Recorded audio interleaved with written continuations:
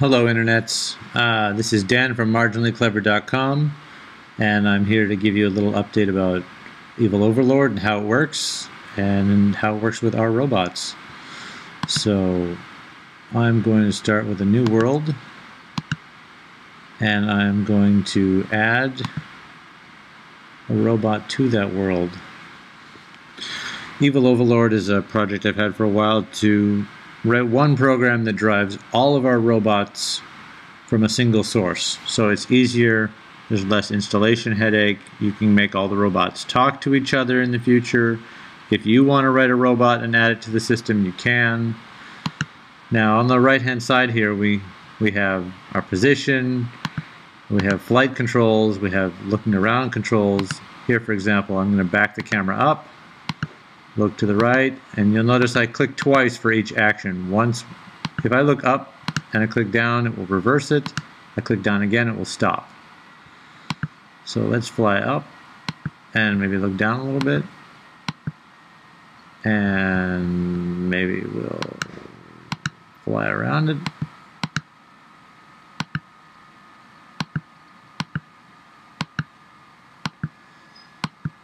Now, now that I've got a robot lit, positioned in here, I can click anywhere on this robot and I get a context sensitive menu. I can reposition that robot anywhere in my virtual factory. I can connect to it through the serial connection and that will, if I actually have a USB connection to a real robot of this type, the two will synchronize and I can drive them both at once.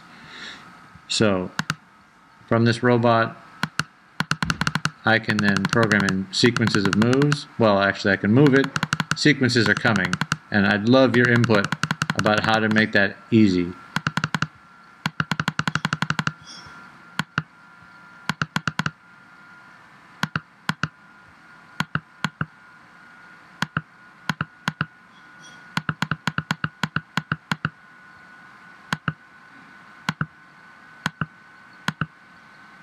Uh, the claw, the claw, it's pointing at you.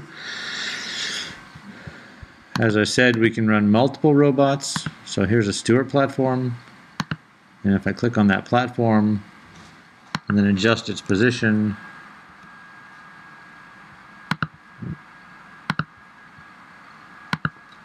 that's the evil minion.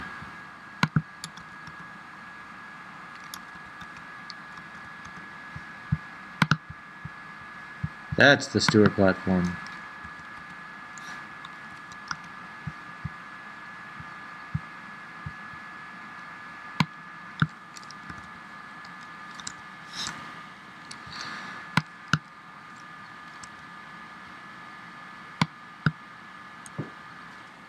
All computer controlled.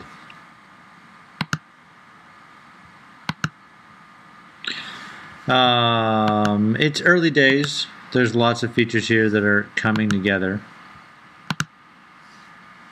Uh, we'd love to have you participate. Um, we're looking for programmers to add their robots to our system. We're looking for ideas about how to most easily playback and record.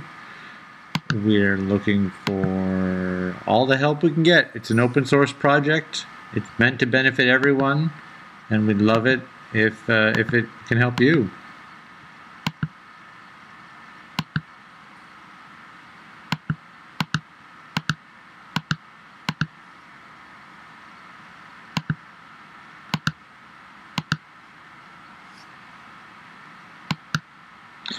So I hope this has been entertaining. Feel free to download it and play with it yourself and let me know what you think. I would love to hear your thoughts on it. You can find us through marginallyclever.com and um, and through evilminion.info for information about the robot arm. Through Spidey1 on Facebook for the six-legged crab. And, um, and the links you see on your screen. I hope this has been uh, informative and entertaining. And uh, I will see you on the internet or at a Maker Faire in the near future. This has been Dan from Marginally Clever. Hoping you stay awesome. Bye for now.